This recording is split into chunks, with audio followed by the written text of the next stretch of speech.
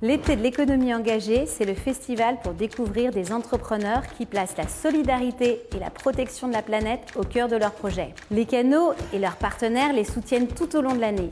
Mais cet été, nous vous proposons de les découvrir à travers des conférences, des rencontres, des ateliers, des vidéos, et vous allez voir qui sont ces acteurs qui font l'économie positive de demain. La mode peut être éthique et responsable si on sort de la course perpétuelle aux quantités. Les vêtements doivent être durables et désirables. L'économie circulaire nous offre l'opportunité d'habiter autrement, de transformer, de construire localement sans détruire en réinventant la matière. On va bientôt être 9 milliards d'habitants sur Terre, sur un espace contraint. Il y a quasiment autant de gens qui ont faim que de gens qui euh, souffrent d'obésité. On voit bien qu'on a un système qui ne fonctionne plus. Il y a plein de solutions, au niveau mondial comme au niveau local. Donc il faut euh, aller voir les conférences des canaux.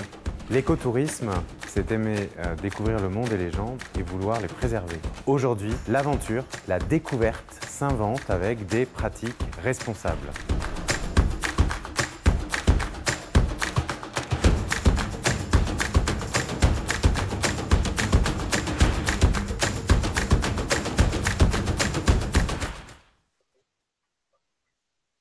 Bonjour à toutes et tous, je suis Oriane de l'association des canaux. Euh, je suis ravie de vous accueillir sur ce nouveau cycle d'événements consacré à l'alimentation et l'agriculture durable euh, organisé par les canaux dans le cadre de notre festival L'été de l'économie engagée. Le festival est fait en partenariat avec Arte, Ushuaia TV, InLarge sur Paris, le mouvement Up et beaucoup d'autres. On les remercie. Ce soir, on vous propose une conférence consacrée à l'alimentation et l'agriculture durable, nourrir la ville, comment soutenir une production locale. Elle sera animée par Hélène Binet, directrice de la communication chez Make Sense, que je remercie. Tout au long de la conférence, n'hésitez pas à poser vos questions sur le Facebook Live. On consacrera un temps de questions-réponses avec les intervenantes à la fin de la rencontre. Merci à toutes euh, et tous d'être euh, virtuellement présents. Je vous laisse en compagnie d'Hélène et de nos intervenantes. Bon visionnage à tous. Bonsoir. Donc ce soir, euh, le thème de la conférence, c'est nourrir la ville. Euh, Aujourd'hui, les villes concentrent de plus en plus d'habitants. Les circuits d'alimentation entre la production d'un produit et sa consommation euh, se rallongent. Et il n'est pas toujours facile de consommer raisonné et durable lorsqu'on habite en ville. Nous allons voir euh, ce soir comment, en tant que résident des villes, on peut se nourrir en soutenant au mieux le monde agricole local. On va essayer de connaître ceux qui nous nourrissent et on verra aussi comment créer des ponts durables entre les zones rurales et les zones urbaines. Euh, pour en parler, c'est un plateau 100% féminin.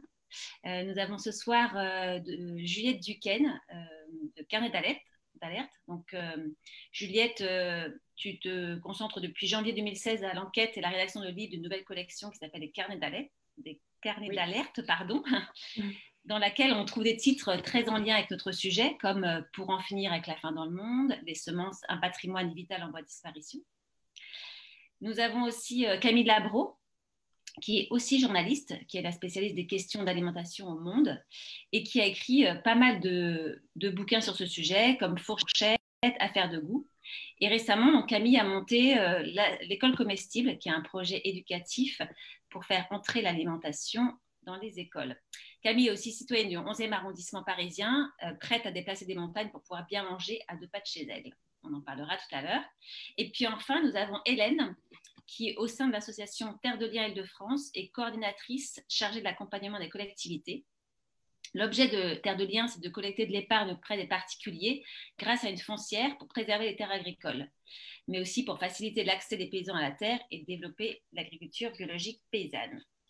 Donc nous allons euh, ouvrir la discussion avec Juliette et donc on aura 10 euh, minutes euh, avec chacune de nos intervenantes. Juliette, on va commencer à se poser un petit peu la question de l'autonomie alimentaire des villes. Avec euh, le Covid, on a bien vu euh, à quel point le sujet était euh, tendu. à Paris et dans les grandes métropoles, selon l'ADEME, on tient trois jours. C'est-à-dire qu'on a une autonomie alimentaire de trois jours, puisqu'en Ile-de-France, 90% des aliments sont importés. Alors, quels sont les grands enjeux pour nourrir la ville? C'est vrai que c'est une thématique, la ville, moi qui reviens dans mes différentes enquêtes. Et ce qui montre quand même, c'est que si on veut nourrir le monde et nourrir la ville en particulier, il faudrait réduire les villes. pour vous donner un chiffre pour commencer, euh, euh, si demain on voulait que toute la France soit cultivées en agriculture biologique. Aujourd'hui, il y a que 7% des terres qui sont en agriculture biologique. Si on voulait que toute la France soit cultivée en, agriculture biologique, ça créerait, ça dépend des études, mais en moyenne, le chiffre qui est donné, c'est 30%, 30 d'emplois supplémentaires dans le secteur agricole, donc dans la main-d'œuvre liée à, l'agriculture biologique. Donc, ça ferait des emplois en plus dans ce secteur. Ce serait plus, bien sûr, ce ne serait pas des emplois en ville, ça serait des emplois à la campagne. Donc, c'est vrai que déjà, pour nourrir la ville et pour nourrir le monde, il faudrait réduire les villes. Et c'est assez symptomatique, moi, des différentes enquêtes que j'ai pu réaliser parce qu'on voit bien que d'ailleurs, les villes, elles ont pu grossir à partir du moment où on a mis en place l'agriculture industrielle qui a demandé moins de main-d'œuvre. Et donc, c'est comme ça que tout se met en place pour mettre en place un système basé sur la croissance économique, le système que nous avons, nous, donc un système basé sur la croissance du produit intérieur brut, ça se met en place à partir du moment où on met en place l'agriculture industrielle, que ce soit chez nous en Occident, mais c'est aussi euh, valable dans les pays en voie de développement. On voit souvent que le, moment où euh, les villes grossissent, et souvent les bidonvilles euh, dans les pays en voie de développement, c'est le moment où on met en place en partie l'agriculture industrielle et surtout à partir du moment où pour donner des aides, on baisse les tarifs douaniers et que les importations euh, par exemple, euh, euh, bah, je vous donne l'exemple d'Haïti, par exemple, quand on a baissé les droits douaniers, les importations de riz qui venaient d'Amérique, c'était du riz subventionné souvent, de l'agriculture industrielle,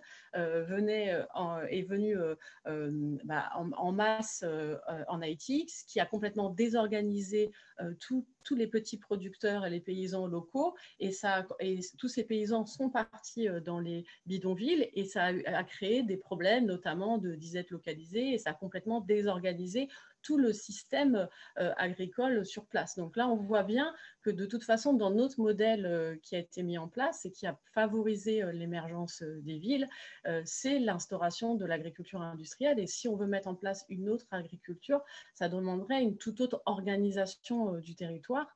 Et on a vu, alors là, je repars un peu sur un autre sujet, mais ça recoupe aussi ce, ce, dont on va parler, qui est lié justement au Covid. On a beaucoup parlé aussi que pendant le coronavirus, euh, bah, l'émergence des villes, la, densité a favorisé aussi euh, euh, le fait que ce, virus bah, circulait plus rapidement. À Paris, on a une des plus fortes densités au monde, hein. on a 21 000 habitants au kilomètre carré. par contre, ailleurs en France, on n'a pas du tout une forte densité, hein. c'est vraiment spécifique à Paris. Donc, la ville favorise l'émergence de ces épidémies, en tout cas la propagation de ces épidémies, mais aussi euh, euh, la, baisse de la biodiversité, il y a plusieurs chercheurs qui ont montré que la baisse de la biodiversité, donc des chercheurs comme Serge Mourant ou Jean-François Végan, ont montré que la baisse de la biodiversité avait un impact très fort sur la hausse du nombre d'épidémies.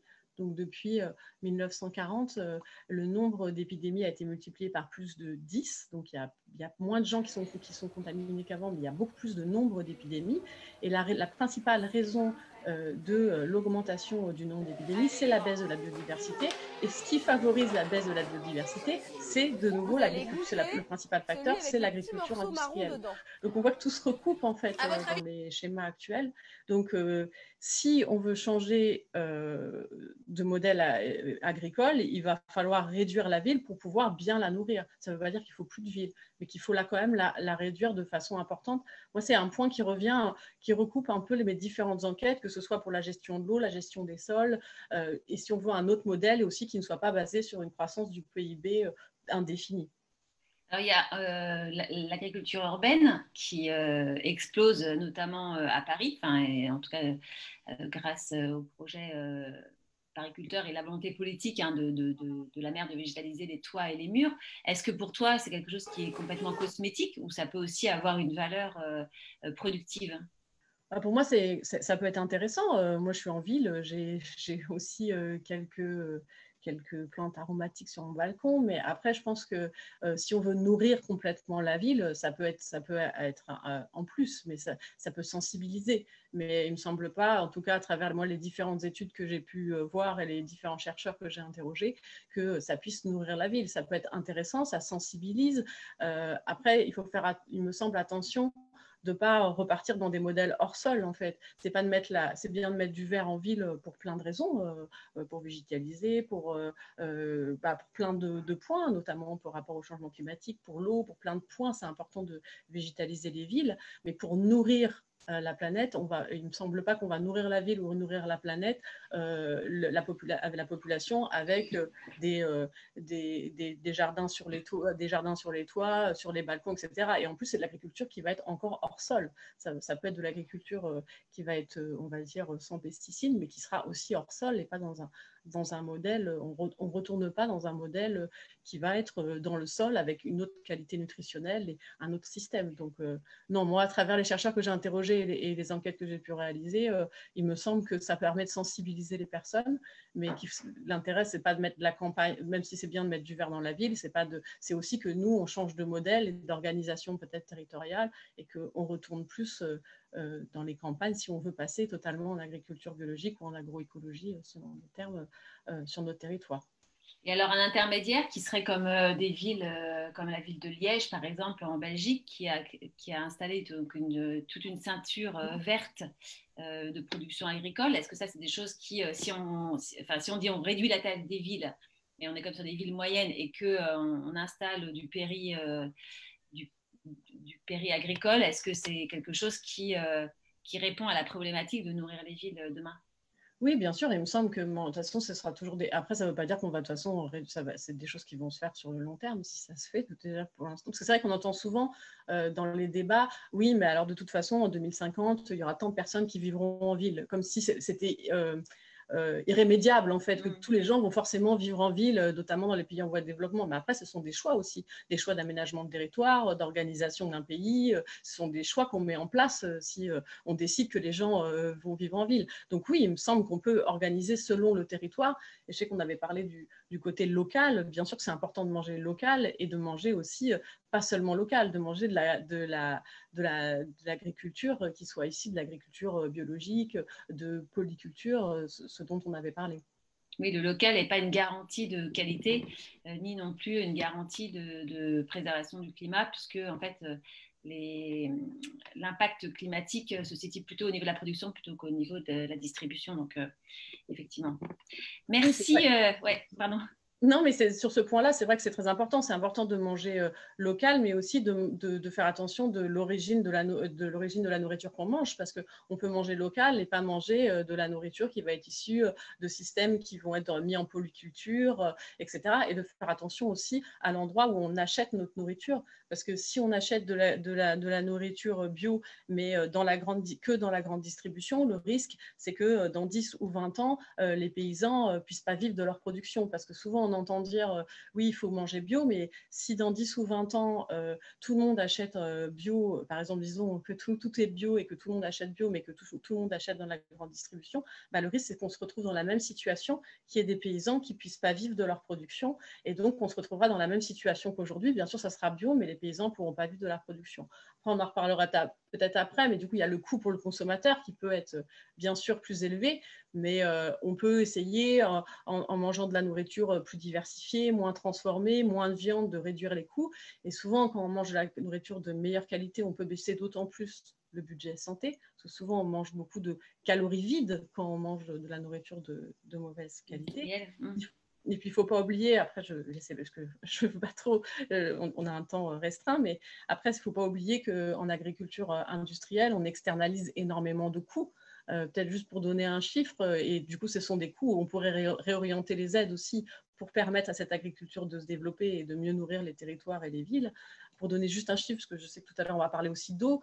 Donc, euh, par exemple, euh, il y a une étude qui a montré que si on voulait, alors c'est totalement euh, factice, ça hein, ne serait pas possible de le faire, mais si on voulait dépolluer totalement les nappes phréatiques et les rivières en France, qui sont toutes polluées par les pesticides et les nitrates, hein, la quasi-totalité des nappes phréatiques et, des cours d'eau, eh ben, ça coûterait 900 milliards d'euros. C'est trois fois les ressources de l'État. Donc, c'est totalement fictif, on ne pourrait pas le faire, mais je trouve que cette étude est intéressante parce que ça montre à quel point on, externalise tous les coûts de l'agriculture industrielle qui nous permet d'avoir cette nourriture qui est, qui est peu chère.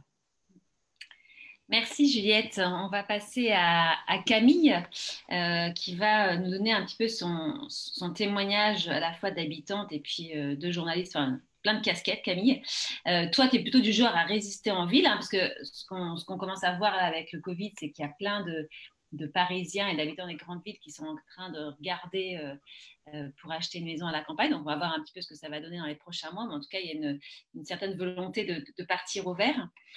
toi, tu es plutôt urbaine. Comment tu fais pour manger local et durable dans le 11e arrondissement, sachant que tu as un certain nombre d'exigences et qu'il faut quand même que tout soit, soit à la fois bon, sain et, et, durable. Mm. Euh, bah, j'ai la chance, euh, tu l'as dit, Hélène, de, vivre dans le 11e, déjà, qui euh, se trouve être un, bon, quartier de bobo aux yeux de beaucoup, mais surtout un quartier très, très riche en, en tout ce qui est lié à la, à la gastronomie, à l'alimentation, en restaurant déjà, mais aussi et surtout en petite épicerie de quartier euh, qui sont aujourd'hui, euh, je dirais qu'à 98% euh, les lieux où j'achète mes, aliments. et donc, c'est, pour moi, ces épiceries-là aujourd'hui sont vraiment symboliques de, la meilleure manière d'alimenter la ville, puisque ce sont des épiceries paysannes qui euh, sont euh, en direct des producteurs. Donc, il y a un intermédiaire, c'est eux, c'est le magasin, qui fédère en fait à la fois la communauté de quartier et, une communauté de paysans. alors, ce n'est pas forcément ultra local, ça peut aller jusqu'à la Drôme, par exemple, où certains, ont parfois des agrumes qui viennent de Sicile, mais c'est le plus loin que, ça va. et, et c'est des produits très, très, très, euh, très qualitatif et à la fois peu cher, puisqu'il y a, enfin, peu cher, euh, ça a un coût, mais pas plus cher, je dirais, que le bio dans un supermarché, euh, voire moins, parce que il y, a pas y a peu d'intermédiaires, donc, donc on, a éliminé ces coûts-là. pour moi, je suis tout à fait d'accord avec Juliette sur la, la taille d'une ville, mais je me dis que si on ne peut pas réduire forcément la taille des villes, on peut euh, mettre le plus possible de petites épiceries de quartier comme ça, qui, pourront, qui ont cette faculté de nourrir euh, pas la ville, pas le monde, leur communauté. Et, euh, c'est ça, pour moi, le, démarrage du, mieux manger en ville.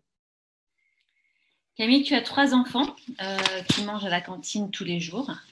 Est-ce que c'est possible de manger à la cantine et de respecter donc tes valeurs, de manger bon, sain, C'est difficile. D'autant, je tiens à signaler que ma fille adolescente a décidé d'elle-même de quitter la cantine l'année dernière et de devenir externe. Et, de, et la condition, c'était qu'elle se fasse à manger elle-même parce que je ne pouvais pas m'occuper d'elle à midi. et, alors, sans problème mais elle est très très autonome, elle a 13 ans et elle se fait euh, des petits, des, petits délicieux euh, tous les midis. Euh, pour revenir à la question, c'est effectivement un petit peu un grand écart pour moi. ça me désole quand j'entends ma fille qui me dit Oui, j'ai mangé une salade de tomates alors qu'on est au mois de décembre, une tomate mozza au mois de décembre, ou, des frites ou des, des, cordons bleus industriels, etc. Ça, me fait un peu mal au cœur mais c'est aussi ça qui me motive à, agir et à faire changer euh, les choses. Et, euh, et j'ai vraiment, il y a une chose que tous les parents dont les enfants mangent à la cantine peuvent faire, et ça il faut le savoir, c'est si on s'inscrit, si on est un parent euh, élu au, conseil parental, enfin, dans les parents d'élèves, quoi, ouais, parents d'élèves, on peut demander à assister aux commissions des menus. Alors ça, je parle pour Paris, hein. ça ne marche pas euh, pareil partout. Mais dans les arrondissements parisiens, chaque, euh, euh, cantine est gérée par la mairie d'arrondissement et il y a des commissions de menus qui sont, qui sont réalisées à peu près tous les deux mois en présence de la nutritionniste qui gère les menus, qui fait en fait les fiches techniques des menus, de parfois des cuisiniers euh, de, la, de la cuisine centrale ou parfois même des écoles, euh, d'enfants aussi, et de, et de parents. Et euh, puis des personnes de la mairie qui, gèrent, gèrent les cantines. Et là, en fait, on peut avoir un impact direct sur ce que vont manger les enfants. C'est assez impressionnant. Moi, j'ai pu, à, l'occasion de trois comme ça commissions de cantine, souligner que ils mangeaient de la betterave toutes les semaines, que c'était un peu triste, que y avait qu'on aurait peut-être pu imaginer leur mettre une salade de chou rouge à la place, ou qu'on pouvait peut-être remplacer le colin venant d'Alaska ou je sais pas où par du maquereau ou, ou, des, ou du chinchard. et après des discussions avec la nutritionniste, elle s'intéressait, elle me disait Ah oui, vous le cuisinez comment etc. On est arrivé à faire changer le menu. Et du coup, ben, les enfants ont mangé un autre truc que ce qui était inscrit au menu. Donc, c'est déjà ça. Et ça, c'est à la portée de tous les parents euh, qui, euh, qui ont leurs enfants à l'école et qui veulent s'investir un peu dans, dans, le quotidien alimentaire de leur enfant. Donc, il n'y a plus de frites dans le 11e arrondissement et plus de tomates mozzarella février. Non, mais évidemment. j'ai juste fait, j'ai juste changé deux, trois petits trucs.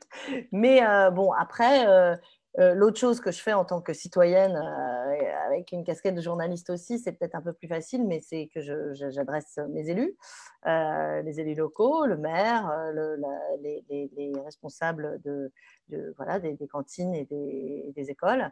et, c'est assez facile en fait. Ils sont là pour ça. il faut savoir que, que Paris, les maires d'arrondissement n'ont pas beaucoup d'autres responsabilités aujourd'hui que la vie scolaire.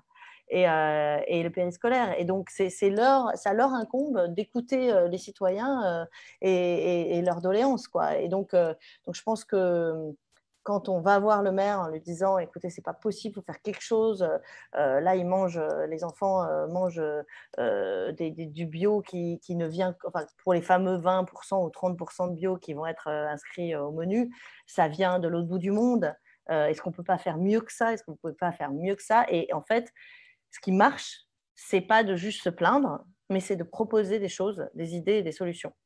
Et, euh, c'est vrai que dans le 11e, euh, par ailleurs, il y a eu, euh, il y a eu, on a un maire qui vient d'être élu d'ailleurs, qui, a, qui travaille avec Haute-Paris. Alors, je sais qu'Hélène va en parler ensuite, mais qui a réussi à, qui, a établi une collaboration entre des agriculteurs de la, dans Lyon et et qui, en fait, la mairie a soutenu leur conversion au bio afin de nettoyer les nappes phréatiques euh, et en leur assurant que leur, euh, production, une fois qu'elles étaient bio, serait euh, distribuée dans les cantines.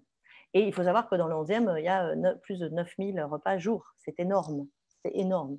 Donc, pour les, agriculteurs, c'était l'assurance qu'ils allaient pouvoir vendre et coller leur stock. Donc, ça a très bien marché.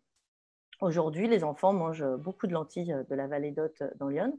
Et pas seulement, il y a des pois chiches, il y a de la farine, etc. Donc c'est très intéressant et je pense que moi j'ai rencontré les, agriculteurs concernés et c'est vraiment vertueux. C'est-à-dire qu'ils sont, sont très très heureux de la situation et de cette garantie financière qu'ils ont avec les cantines. Et je crois que c'est un modèle qui peut se, se, énormément. C'est-à-dire qu'une cantine, un système euh, de, restauration collective comme ça euh, a un impact énorme et est un levier énorme pour soutenir une bonne agriculture.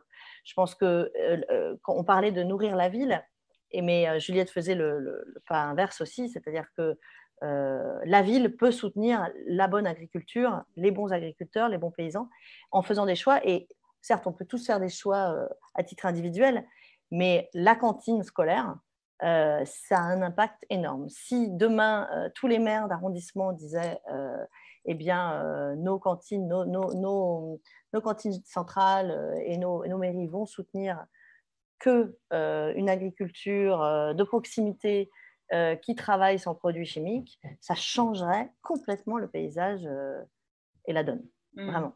Paris, hein, pour, pour rappel, c'est 150 000 repas jour dans les cantines. Hein. On ne compte pas aussi euh, tout ce qui est euh, hôpitaux, euh, oui, oui, oui, etc. Camille, pour terminer, donc toi, l'école, c'est quelque chose qui te, qui te passionne et donc tu as créé il y a un an l'école comestible pour faire entrer l'alimentation dans les salles de classe.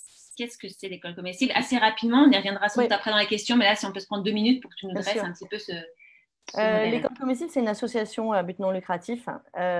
C'était un peu cette envie que j'avais d'agir. Euh, je me suis rendu compte qu'on pouvait avoir un impact, comme je disais, mais euh, je voulais aller vraiment euh, au-delà de, cet, impact en tant que citoyenne et maman. Je, me disais en tant que, acteur du, monde social et de la communauté, je peux faire encore plus.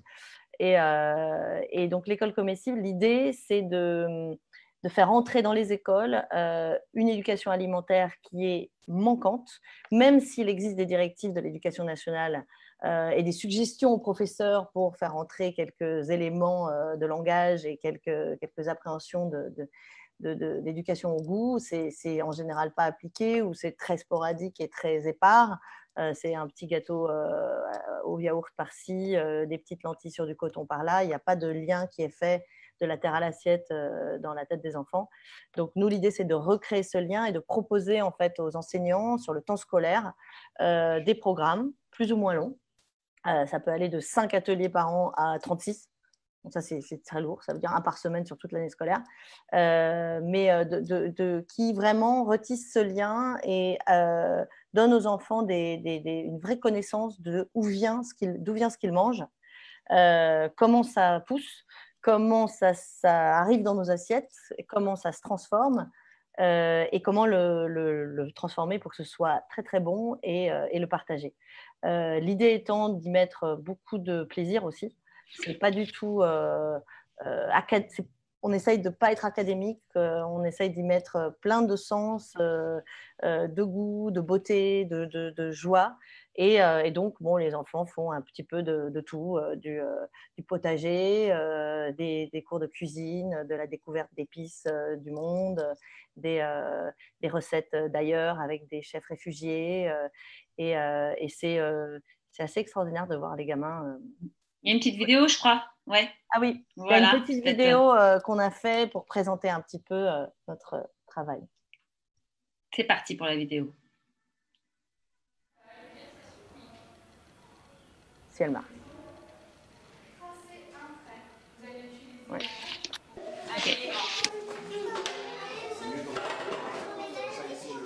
Vous allez goûter celui avec les petits morceaux marrons dedans. À votre avis, c'est quoi? Chacun dit ce qu'il pense que c'est. Ça sent les chips. Ça sent les chips. Ah, Alors, Qu'est-ce que vous connaissez comme fromage? La vache Je me suis à un moment posé la question, mais pourquoi, pourquoi tant de gens se nourrissent mal? Pourquoi est-ce que c'est si dramatique Pourquoi on est vraiment à l'ère de la malbouffe Et comment on peut changer ça Il faut éduquer les gens pour qu'ils apprennent à mieux manger. Tout, tout part de là.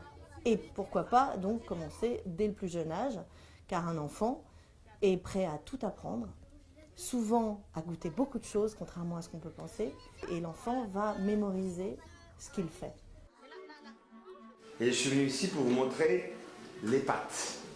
Les meilleures pâtes de pâtes. Les pâtes On va faire des bredela aujourd'hui. Oh, c'est long ça. C'est long, hein Très long. Pour faire le bredela, on va mélanger la farine avec le beurre. Avec le beurre. Ça semble insensé que ce ne soit pas pris en compte aujourd'hui dans l'éducation nationale et dans les programmes scolaires. Il y a urgence à. euh, oui, ok, j'avais pas qu'on m'entende, mais non, on n'entend pas. Urgence. Maintenant, on va prendre toutes ces petites boules et on va faire une seule boule géante. Montrez-moi. Montrez-nous. Comme ça. Et nous, c'est la bonne famille des escargots.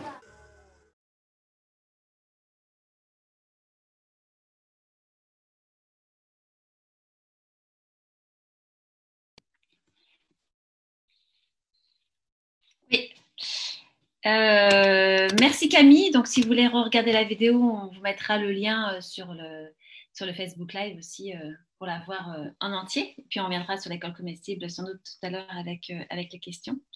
Hélène, c'est à nous. donc, vous, en Terre de Liens en Ile-de-France, en fait, où la pression foncière est très forte, votre association s'est réinventée. Sur les 220 fermes terre de lien en France, seules 6 sont en Ile-de-France, tellement euh, le, foncier, la question du foncier est, cruciale. Donc, euh, Terre de Liens, vous êtes tourné vers la mobilisation citoyenne et l'accompagnement des collectivités dans leur. Je continue. Petit problème technique ou pas? Ou c'est bon? Ok, ok. D'accord. Donc, Terre de Liens, vous êtes tourné vers la mobilisation citoyenne et l'accompagnement des collectivités euh, dans leur démarche pour monter leur projet alimentaire de territoire. Racontez-nous, euh, euh, Hélène, raconte-nous un petit peu comment ça se passe, comment Terre de Liens peut accompagner les maires en fait pour avoir un projet alimentaire à l'échelle de leur commune.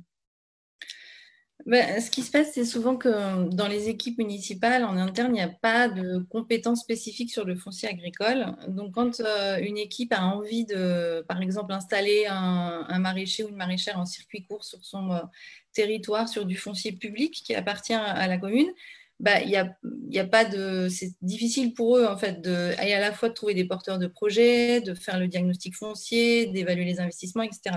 Donc c'est là qu'ils font appel à nous et avec euh, nos, structures partenaires, on, a, créé une association qui s'appelle Abiosol. Euh, et avec euh, Abiosol, dans la Abiosol, il y a quatre structures. Il y a le Terre de Liens, le réseau des AMAP, d'Île-de-France, euh, la couveuse euh, d'activités agricoles Les Champs des Possibles et le groupement des agriculteurs biologiques. Nous, avec nos compétences complémentaires, justement, on, peut accompagner ces, municipalités qui souhaitent faire ces projets d'installation. Alors, en Ile-de-France, je ne vais pas vous dire non plus que c'est euh, pléthorique. Hein. il n'y a pas non plus des, demandes pour l'instant euh, qui sont euh, absolument énormes, mais on compte énormément sur les nouvelles équipes qui sont arrivées depuis fin juin officiellement mise en place, etc. Parce qu'on pense qu'on a beaucoup euh, été attentif aux, promesses électorales et la question de l'alimentation et de l'agriculture était centrale et euh, beaucoup, beaucoup de promesses sur euh, du, presque de la régie agricole parfois ou en tout cas de l'installation sur leur territoire. Et en, revanche, on en, on en, accompagne déjà. Donc là, pour l'instant, on a une quinzaine de collectivités avec qui on travaille sur le territoire francilien avec des projets euh, plus ou moins aboutis, mais euh, on a, euh, après, je si, tu veux, je peux développer un ou deux exemples. Oui, ça peut être chouette d'avoir des exemples un peu de communes qui donneraient un peu le ton. Qu'on accompagne, qu'on a accompagné depuis quatre ans à peu près, qui s'appelle Magny-les-Hameaux dans le 78 et euh, sur leur foncier public, enfin c'est le foncier de l'agglomération, à peu près 5 euh, hectares, euh, on a donc réussi à trouver, à, accompagner deux installations de maraîchers. Et là, il y a un éleveur, un éleveur itinérant, un berger, qui, vient aussi de, signer un bail avec la commune de, de Manille-les-Hameaux.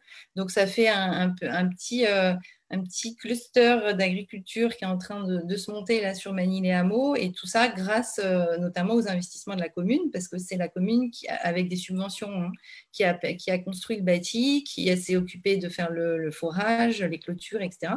Donc Manille-les-Hameaux aujourd'hui c'est un très bon exemple euh, bah, d'investissement communal sur euh, l'agriculture qui a demandé beaucoup, beaucoup de volontarisme, beaucoup de ténacité, etc. Il faut savoir qu'on l'a dit tout à l'heure, le foncier en Ile-de-France, c'est très, très complexe. Et euh, enfin, c'est ça qui peut aussi faire peur aux, communes, c'est que parfois, euh, on a du mal à dépasser les premiers obstacles. Par exemple, tout simplement, trouver du foncier public. Hmm. Ça, c'est un peu la, problématique la plus euh, forte pour les communes qui veulent mettre en place des projets d'installation c'est qu'on a des, complications souvent liées euh, au parcellaire qui, par exemple, euh, va appartenir à des propriétaires privés avec des successions compliquées, etc. Et même si une commune, elle veut acquérir du foncier, même si elle se donne les moyens, c'est parfois hyper complexe d'avoir accès à ce foncier. Et quand elle a du foncier, elle n'a pas toujours les bonnes conditions d'installation. Parce qu'évidemment, il faut avoir des sols adaptés, il faut avoir la possibilité d'avoir du bâti pour euh, faire un hangar agricole, euh, accès à l'eau. Le forage, il peut, être, euh, il peut coûter très cher parce que si l'eau est profonde, ben, on peut facilement avoir un, un, forage qui coûte 50 à 60 000 euros, etc. Donc en fait, il suffit pas d'avoir, malheureusement, il suffit pas d'avoir la volonté politique, il la faut, bien évidemment.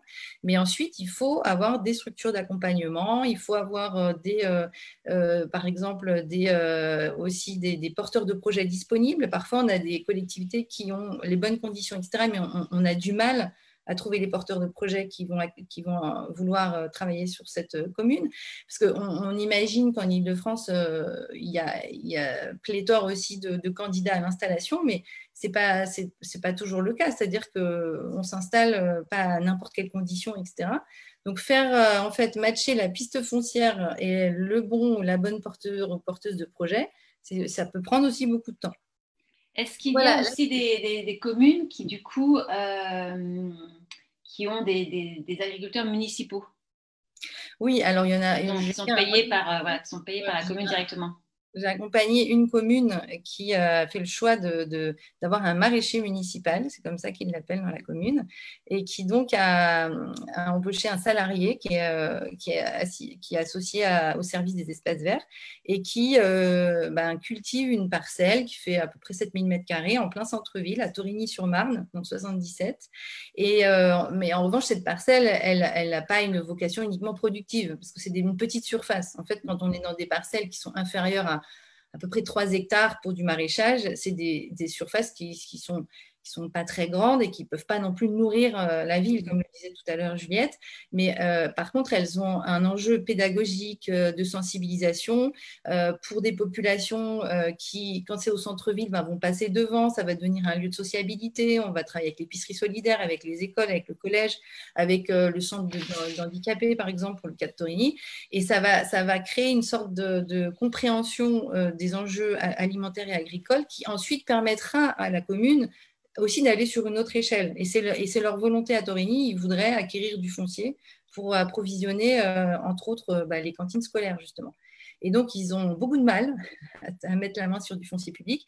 Donc, ils ont commencé par cette parcelle de centre-ville pédagogique en se disant, en étant assez visionnaire finalement, en se disant, bah, on, va, réussir à convaincre la population aussi qu'il faut qu'on soit persévérant sur notre projet d'installation euh, pour de la production et que ça pourra euh, faire l'objet d'investissements, etc. Et pour qu'il y ait une meilleure compréhension du projet par la population, bah, il n'y a, rien de tel qu'une euh, parcelle accueillante, ouverte, qui fait de la production, mais aussi de l'animation. Et c'est le pari qu'a fait Torigny, en fait. Il y a des communes aussi comme Moret-sur-Loing euh, où la cantine est alimentée par une euh, est en AMAP. Alors euh, non, c'est malheureusement c'est un raccourci. C'est un, projet qui effectivement a, été accompagné par le réseau des AMAP. C'était on l'avait appelé ma cantine en AMAP. Donc voilà, c'était mm. C'était le nom du projet euh, qu'on a, mené là depuis deux ans. Euh, une petite commune qui s'appelle Écuel dans le sud de Seine-et-Marne, qui fait partie d'une commune qui s'appelle Morel-Loin et Orban, une commune plus grosse fusionnée. Et donc à Écuel, on a voulu euh, créer un circuit, non, pas direct, mais carrément plus que court, direct entre les producteurs et la cantine. Donc pendant euh, à peu près un an, on a travaillé avec un comité de pilotage euh, mixte, c'est-à-dire avec euh, à la fois des élus, des agents de collectivité, des représentants de l'équipe de cuisine, des parents d'élèves, du centre de loisirs, des, producteurs locaux. et tout ce, tout ce monde s'est mis autour de la table et a réussi à construire ce projet d'approvisionnement. Alors, pas, pas à 100% bien évidemment. Donc on est arrivé au bout d'un an et demi, avoir à peu près 20% des produits de, saison qui venaient uniquement des producteurs locaux. Mais euh, la force de ce projet, ça a été de mettre tout le monde autour de la table et aussi d'avoir, comme disait euh, Camille tout à l'heure, euh, un, projet aussi éducatif alimentaire parce que la directrice, par exemple, de l'école avait mis dans son, dans son projet de l'année de, de, faire un potager dans l'école avec le producteur, le, maraîcher qui livrait la cantine, etc. Donc il y avait tout un suivi sur l'année. C'était pas du tout quelque chose qui était comme ça, juste une animation ponctuelle. C'était construit sur l'année avec les élèves qui voyaient le producteur, qui lui-même apportait les plans, etc., etc. Et c'est vrai que ça c'était euh, super concluant. Et moi je rejoins complètement Camille quand elle explique qu'il faut aller dans vraiment de l'éducatif et non pas juste de la sensibilisation ou des animations ponctuelles faites par des prestataires extérieurs, etc. Euh, non, il faut on en arrive à un programme éducatif alimentaire intégré dans les projets des écoles. Et c'était ça l'idée aussi à, EQL qu'on a voulu euh, mettre en place. Merci beaucoup. Euh, on a fait un premier tour, euh, un de la question. maintenant, il y en a plusieurs qui arrivent dans le, dans le chat. Ce, ce que je vous propose, c'est qu'on c'est qu'on commence par les, questions, on va même carrément les prendre dans l'ordre, on va être hyper classique. Euh, il y a Emmanuel qui pose une question pour Juliette, ce qui n'empêche pas à euh, Camille et Hélène d'y répondre euh, ou d'ajouter quelque chose si elles le souhaitent? pour protéger la planète, vous proposez de réduire la ville de façon importante, donc une sorte d'exode urbain, au profit de la, ville de la vie à la campagne. On sait que l'empreinte énergétique des individus est beaucoup plus importante à la campagne qu'en ville. Euh, plus de voitures, plus de logements, etc. Comment est-ce qu'on peut euh, réconcilier ces, ces contradictions? Parce que si tout le monde part à la campagne, finalement, et voilà, même en termes de même en termes d'occupation de, l'espace, et se met à construire un pavillon dans les champs, on ne va pas forcément résoudre le problème. Qu'est-ce qu'on fait? Après, en France, il y a quand même largement cette place. Hein. La densité est assez faible. Hein. elle est très très forte à Paris avec 21 000 habitants au kilomètre carré, mais ailleurs, euh, elle est assez faible en France.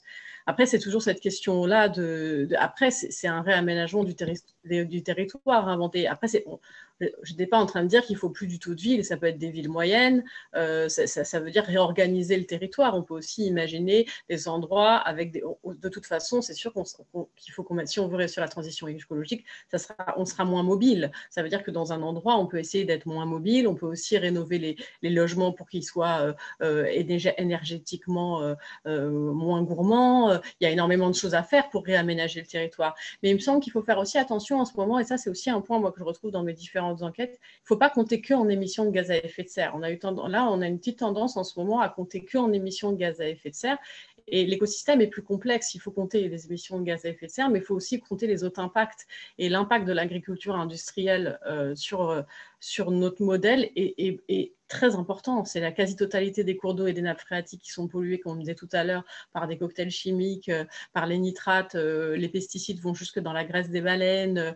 Euh, les sols sont aussi énormément pollués. C'est assez structurant pour la société, l'agriculture et l'alimentation. Alors, c'est pas d'opposer les pollutions, hein.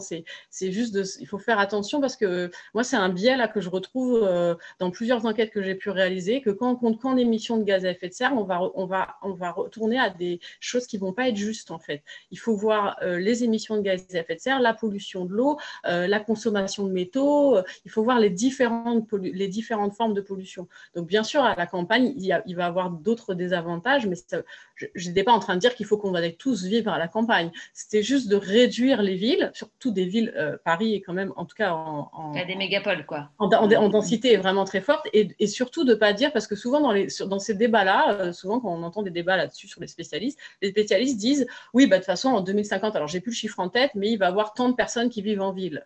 Comme si l'augmentation était euh, obligatoire et, euh, euh, c'était sûr qu'il allait y avoir tant de personnes qui allaient vivre en ville. Mais on peut décider d'aménager le territoire différemment. On peut essayer d'organiser les territoires selon, selon à chaque fois les, possibilités locales, réorganiser des choses sans imaginer aussi d'autres transports pour, pour les, les campagnes, qu'elles soient, qu'elles soient, qu'on organise plus de, des, transports collectifs. il, y a il, y a, il, y a, une tout autre aménagement du territoire à inventer. Mais je, pense que quand on dit attention à la voiture, etc., c'est pas, il faut pas opposer. Je pense qu'il faut vraiment qu'on change de modèle agricole. Et ça, vraiment, ça revient aussi dans mes différentes enquêtes à chaque fois que c'est essentiel pour la pollution de l'eau, pour la pollution des sols, euh, pour notre santé, euh, pour la biodiversité. On le voit encore là avec, euh, avec les, épidémies et le Covid qu'on a traversé. Donc, et qu'on traverse encore. Donc, il me semble qu'il ne faut pas opposer et qu'il faut trouver des, équilibres et des justes milieux entre les différentes, euh, entre les différentes pollutions et les différents effets néfastes que nous pouvons avoir sur la nature dont nous faisons partie. Alors, en termes de, répartition de, l'espace, euh, la question de Stacy est la suivante. Euh, si toute la France passait à l'agriculture biologique, il y aurait 30% d'emplois en plus dans le secteur agricole, mais il faudrait combien de surface agricole en plus? Ou est-ce qu'on peut, juste en convertissant les terres actuelles, euh, ah, sur les rendements, en fait, euh, la question sur les rendements est une question qui revient souvent. Alors moi, j'avais fait une, enquête là-dessus en, comparant vraiment les rendements. Alors c'est difficile de, donner des chiffres toujours très précis, mais en Occident et notamment en France, bien sûr que si on passait complètement en agriculture biologique, les rendements diminueraient, de l'ordre de 20 à 30% selon les cultures. Alors déjà, c'est des chiffres à manier avec précaution parce qu'aujourd'hui, euh, avec le changement climatique, avec aussi l'épuisement des sols, etc., les rendements en agriculture industrielle ne sont pas toujours euh, aussi bon. Et bien sûr qu'il pourrait avoir une baisse des rendements, par exemple, en France. Donc, moi, comme je vous disais, dans l'enquête que j'avais faite, j'avais trouvé, selon les différents chercheurs que j'avais interrogés, de l'ordre de 20 à 30 Mais on a, 30, on a plus de 30 de gaspillage alimentaire en France. Donc, on pourrait tout à fait euh, nourrir la France si on passait totalement en agriculture biologique. Et en plus, on a énormément de marge de manœuvre pour pouvoir augmenter et améliorer euh, les rendements dans cette agriculture, notamment, alors je ne vais pas ouvrir ce sujet-là parce que là, c'est un sujet euh, très vaste, mais notamment en mettant en place des variétés de semences qui sont beaucoup plus adaptés à l'agriculture biologique. Aujourd'hui, la recherche est très faible sur ce sujet-là et qui permettrait d'augmenter considérablement ou qui aiderait les agriculteurs en agriculture biologique. Et il ne faut pas oublier non plus que ce n'est pas seulement en Occident. Dans les pays en voie de développement, l'agriculture, alors là, les chiffres et les études sont beaucoup plus flagrantes. il y a des études de Jules Préti, il y a plein d'études qui montrent que l'agriculture biologique, ou en tout cas mettre en place des techniques d'agroécologie, permettrait d'augmenter le rendement de l'ordre de 79%, donc de façon très importante, parce que euh, souvent l'agriculture industrielle s'adapte moins euh, à, ces, pays, euh, à certains pays en tout cas, et en plus, cette agriculture, et bien sûr, ils ont moins mis en place l'agriculture industrielle. Donc, les rendements seraient encore, augmenteraient d'autant plus dans les pays qui sont en voie de développement. Et, là, on parle nourrir la ville, mais c'est aussi nourrir la ville dans les pays qui, sont, qui ont des fois en plus des problèmes pour nourrir la population. Donc, ça serait revoir totalement le système, en fait. Donc, on pourrait tout à fait nourrir la planète aujourd'hui avec l'agriculture biologique ou l'agroécologie. Après, il y a des conditions. Il faut manger moins de viande et il faut manger local.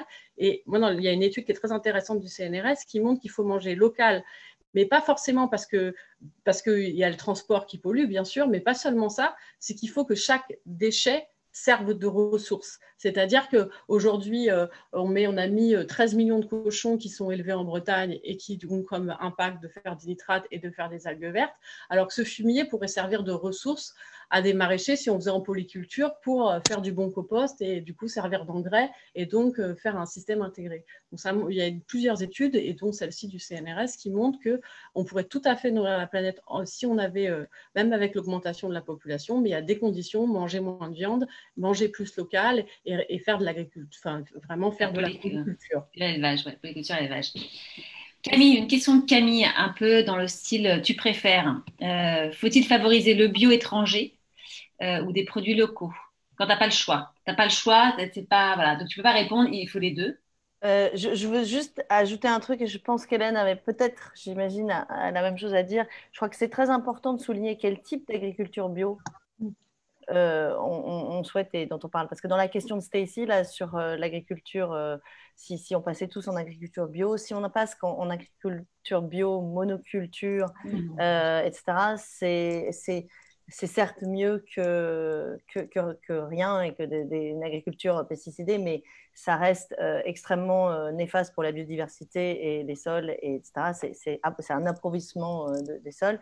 Et je pense que Juliette l'a dit, la, solution, c'est des agricultures diversifiées sur des principes agroécologiques qui sont, ce faisant, beaucoup, le rendement peut être bien plus élevé que de la monoculture qui épuise les sols je voulais juste euh, dire. Ouais, et, et Camille, juste si je peux ajouter, euh, tu l'as dit, Juliette, hein, mais je crois qu'il faut vraiment insister sur l'emprise spatiale de l'élevage. Aujourd'hui, euh, c'est la, clé vraiment de, finalement de l'emprise au sol, là je parle vraiment en superficie, aujourd'hui c'est l'élevage qui prend le plus de, place parce qu'il faut euh, évidemment des pâturages pour les bêtes, mais il faut aussi nourrir les bêtes avec tout ce qui est nourriture industrielle, ça prend énormément de place pour euh, euh, bah, tout simplement faire les tourteaux, etc.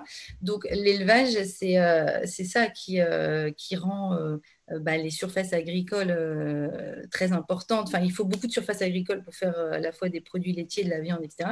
Donc, il faut absolument avoir aussi tout un travail sur notre changement alimentaire et réduire de viande.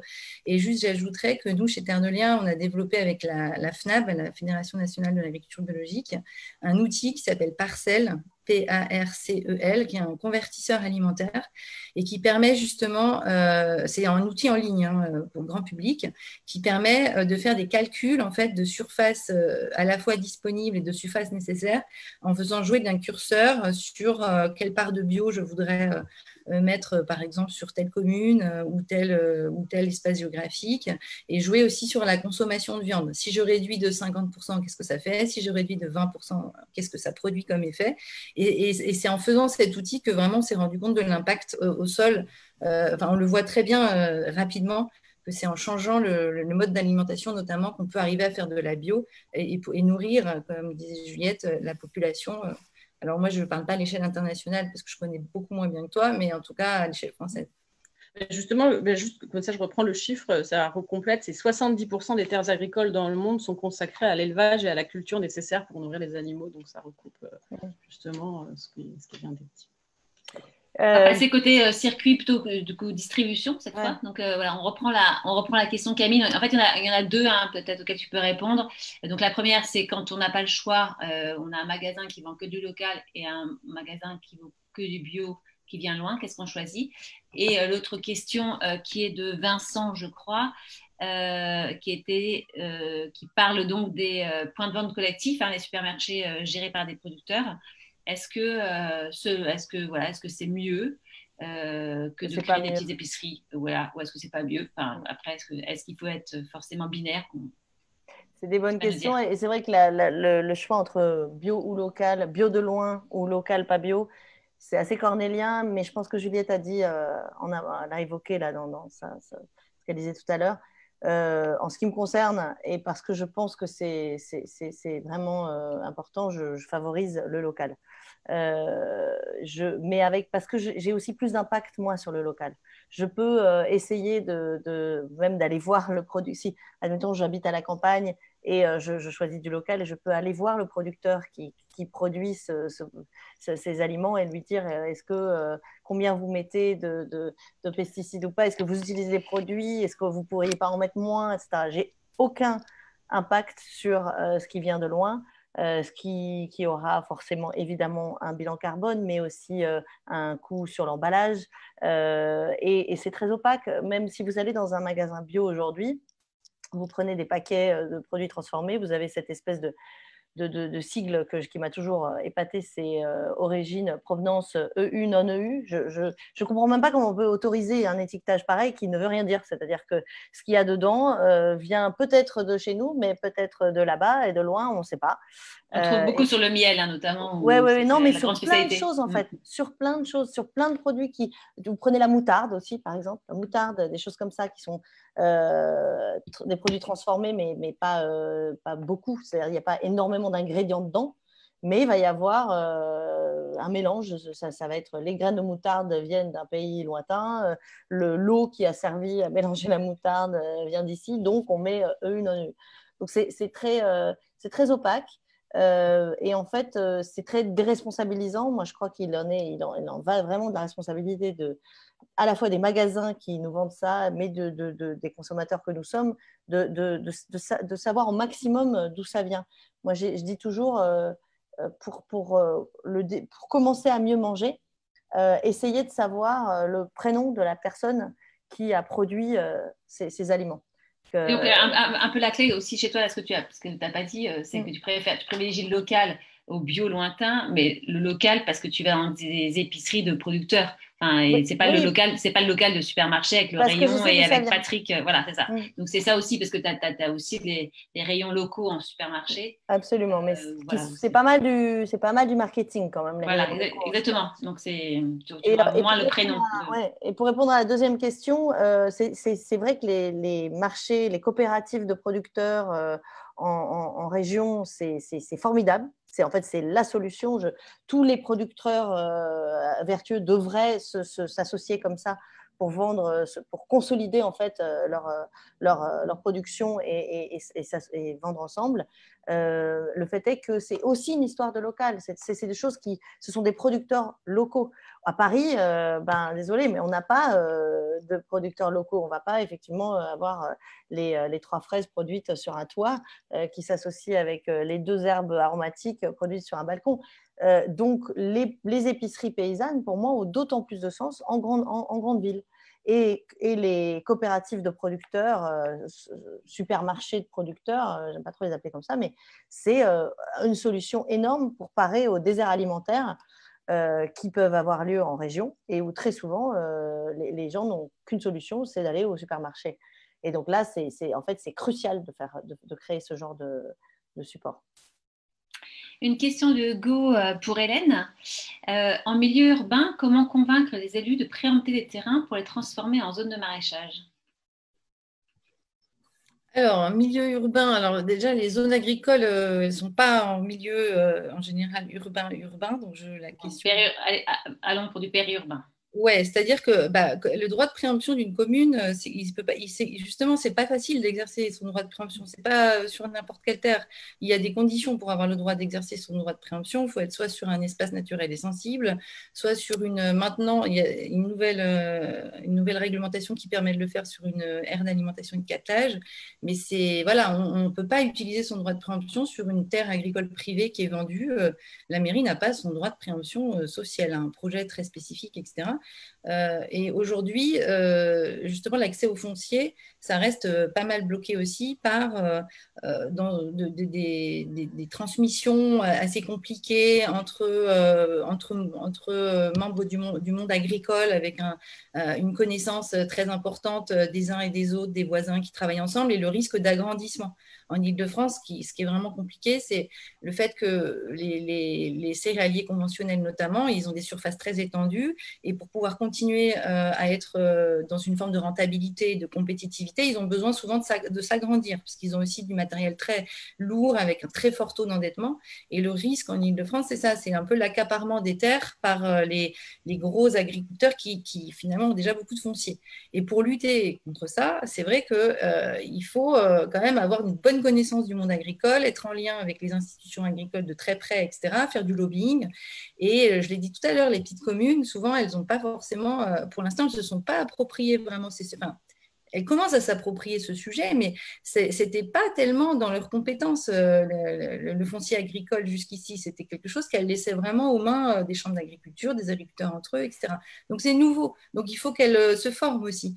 Il faudrait, par exemple, avoir bah, peut-être au niveau des agglos, des, référents, des agents référents qui soient capables d'accompagner justement ces, petites communes, notamment dans leur démarche. Il faudrait avoir plus de, ouais, de, possibilités pour les agents de d'avoir une bonne compréhension de ces sujets et d'avoir euh, des outils techniques, de savoir comment les mobiliser, à quel moment, etc. etc. Et puis, un autre aspect, c'est le prix. Là, je travaille avec des communes, par exemple, qui se, retrouvent confrontées à euh, des prix très élevés avec des terrains qui sont en zone à urbaniser, en zone constructible. Ils voudraient remettre la main dessus, euh, acheter, ces, parfois ça peut être 2-3 hectares, pour les, euh, pour les rebasculer en, zone agricole. Mais les prix sont tellement élevés que parfois, évidemment, c'est un obstacle qui ne va pas être facile de dépasser. Parce que, bien évidemment, pour des communes de petite taille, parfois, voilà, ça peut être très une question sur le prix cette fois, mais pas le prix euh, du foncier, mais le prix euh, du produit euh, final. comment gérer ce prix, le prix auquel on doit acheter ces produits dans les petites épiceries? Alors, la question c'est de savoir est-ce que quel, est, le prix acceptable? Est-ce que on a parlé tout à l'heure hein, de la nécessité de rémunérer justement les producteurs. C'est quoi un, juste prix dans une épicerie de producteurs? Euh, Moi, j'ai encore une fois, dans le 11e, il y a plusieurs cas. Et il y a des épiceries qui sont assez haut de gamme et qui vont notamment euh, vendre plutôt à des, chefs ou à des, personnes aisées. Et puis, il y a des épiceries qui vraiment euh, se, mettent, s'alignent sur quasiment sur, sur le supermarché d'à côté. J'ai fait, ça fait plusieurs années que je garde tous mes reçus euh, de ces petites épiceries et que je les compare avec euh, les, reçus d'autres personnes qui vont au supermarché. Et je ne dépense pas plus d'argent, voire j'en dépense moins. Et pourtant, on mange super bien et tout. La différence, la grande différence, c'est qu'on cuisine. Mais tu l'as dit, Hélène, euh, il faut aussi veiller, et ça c'est très important, à ce que les producteurs soient correctement rémunérés. et donc, je pense que là, on en revient à l'éducation. C'est-à-dire que il faut un juste milieu entre euh, le prix qui va être accessible à tous pour que le plus grand nombre puisse mieux manger et, euh, un prix qui soit suffisamment euh, intéressant pour que les producteurs qui produisent ces bons produits continuent à travailler et continuent à, bien, à pouvoir en vivre. Hélène va intervenir. Oui, on n'a pas parlé d'un autre système pour s'approvisionner en local et en bio, c'est le, système des AMAP. Des AMAP, oui. Euh, les AMAP, ça veut dire Association pour le maintien d'une agriculture paysanne.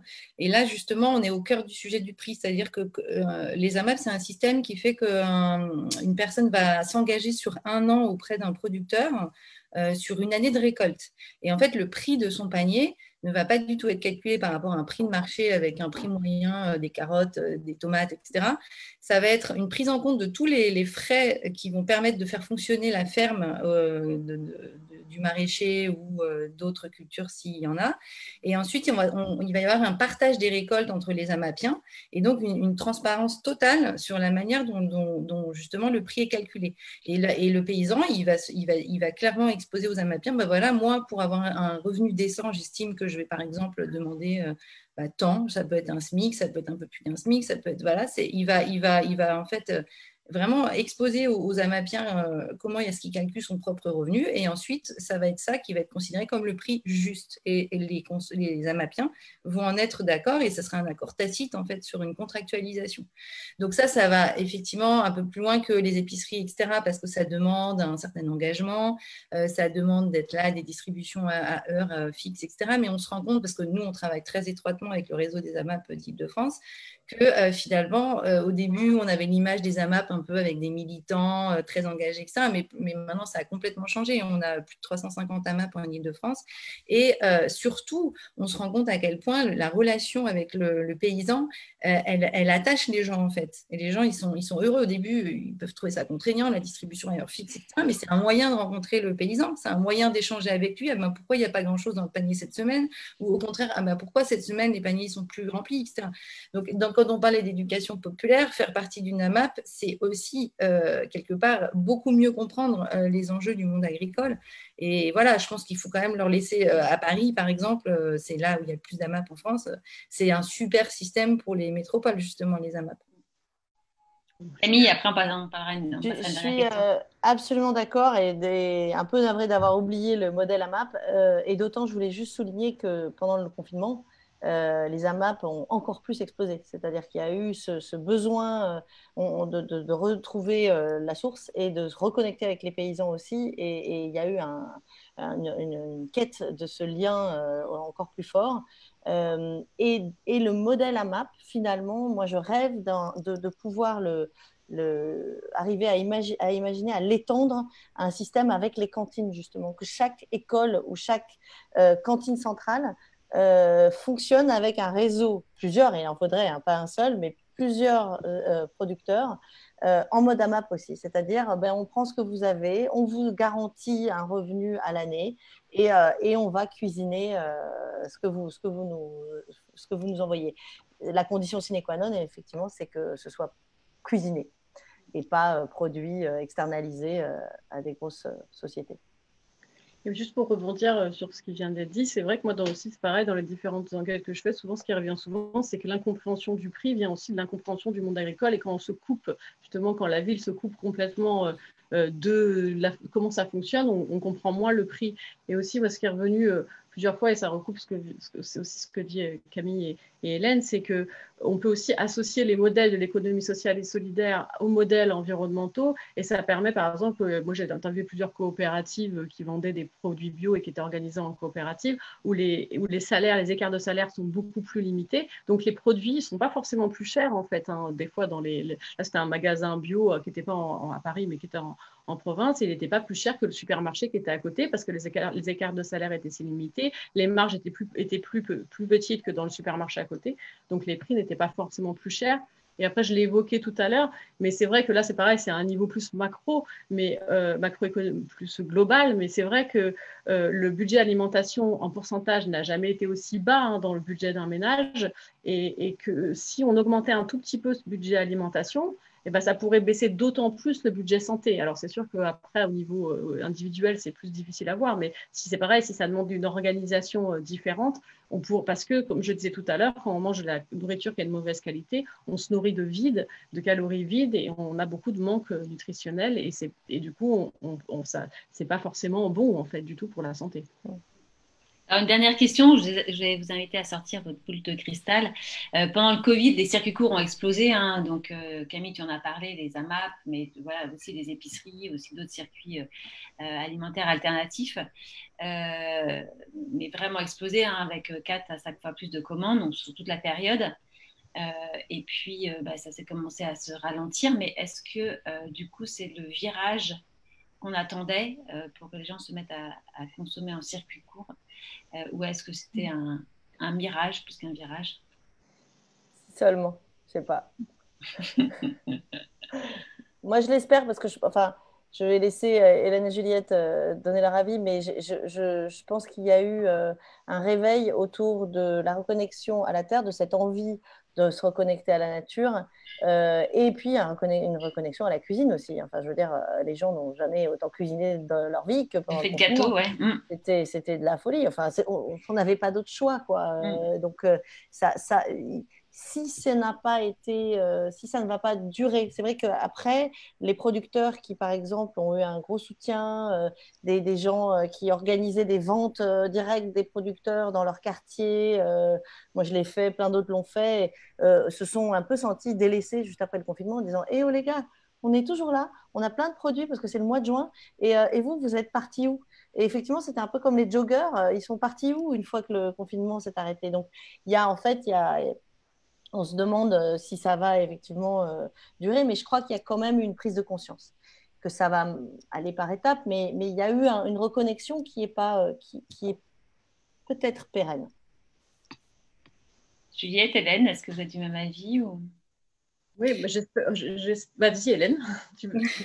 bah, il y a un thème qui est énormément revenu euh, pendant cette période, c'est la résilience. Et euh, c'est vrai que ces systèmes, euh, je reparle des AMAP parce que bon, on a vu aussi qu'il y a eu toutes les distributions AMAP ont été maintenues pendant le, la, la, crise du Covid dans des conditions hyper respectueuses des règles sanitaires. Enfin, je veux dire, il y a eu une réactivité euh, de l'organisation euh, qui, était géniale parce que finalement, on aurait pu se dire oulala, mais attends des distributions avec du mais finalement tout ça, comme les gens sont partie prenante de leur alimentation et ont aussi une notion de responsabilité dans leur euh, façon de choisir leur nourriture, etc. On, a vu que ces systèmes sont hyper résilients effectivement et qu'il n'y avait pas cette, totale frayeur de dire un jour la chaîne peut s'arrêter parce qu'il n'y a pas cette notion de chaîne en fait on n'est pas dans ce, dans ce truc de la logistique hyper complexe avec euh, d'un côté les emballages qui vont plus arriver au bon moment, etc., etc. Et donc, on réduit au maximum justement cette chaîne. Et je pense que c'est ça la clé c'est de comprendre euh, comment est-ce qu'on peut reconnecter euh, sans avoir à passer par 12 intermédiaires qui insécurisent chacun à, leur petit maillon euh, bah, la façon de, s'approvisionner. Donc oui, bien sûr, nous, on, pense que ce n'est pas qu'un moment entre parenthèses et qu'il y a une compréhension certainement plus forte des personnes de cette, de cette résilience de ces systèmes, justement pour conclure. Pour, rebondir dessus, oui, moi je pense que ça a montré d'autant plus que l'agriculture et l'alimentation étaient structurants dans notre société et, et centrales et par la crainte de manquer de pâtes ou de riz qu'on a vu les gens aller dans les magasins, c'est-à-dire les seuls magasins qui sont restés ouverts, et, je, et aussi euh, par les causes en fait hein, de la baisse d'une de la hausse du nombre d'épidémies qui sont liées à, la baisse de la biodiversité, qui sont liées au modèle agricole que nous avons. Donc par plusieurs prismes, ça a montré que euh, l'alimentation et l'agriculture c'est central dans notre société et ça peut être structurant. Après, j'espère que ça, en tout cas, il y a eu des habitudes de consommation qui ont changé, mais il faut aussi qu'on les accompagne ces habitudes de consommation.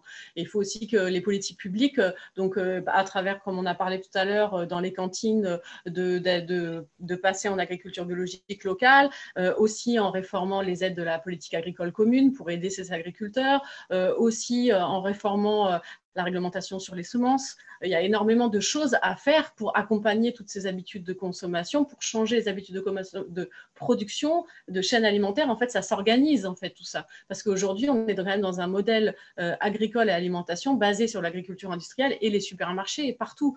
Donc, euh, de changer globalement un, système agroalimentaire, ça demande une, organisation et des politiques publiques qui accompagnent le changement de ces citoyens qui ont commencé à changer un peu plus leurs habitudes ces derniers mois. Merci, il est 20h11. Du coup, on va, on, va s'arrêter là pour ce soir parce que c'est il est bientôt l'heure de passer à table. Et puis, je laisse euh, la parole euh, donc euh, à Ariane pour terminer, le, pour conclure le, cette discussion. Merci Hélène et merci à toutes et tous d'avoir suivi cette conférence passionnante. On espère qu'elle vous a plu autant qu'à nous. un grand merci à toutes nos intervenantes pour leur disponibilité et la qualité de leurs interventions. Merci Juliette, Camille et Hélène euh, vous pourrez retrouver cette conférence en replay sur la page Facebook des canaux, mais aussi sur notre site internet et sur notre chaîne YouTube.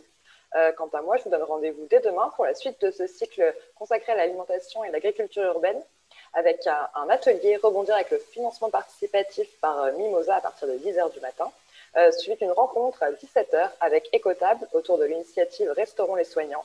Et enfin, dès 20h, une projection du documentaire Jeune bergère de Delphine Détry, qui sera suivie d'une table ronde avec la réalisatrice et la principale protagoniste du film. Euh, je vous en dis pas plus, mais pour ne rien louper et avoir toutes les infos, abonnez-vous à la page Facebook des canaux. Et puis on se retrouve euh, très vite. Encore un grand merci et très belle soirée à toutes. Bonsoir. Bonsoir.